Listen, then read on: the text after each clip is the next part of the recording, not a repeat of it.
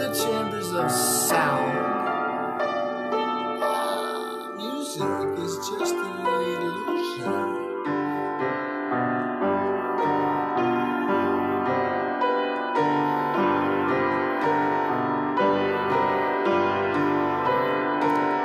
It's a game of uh, mental masturbation.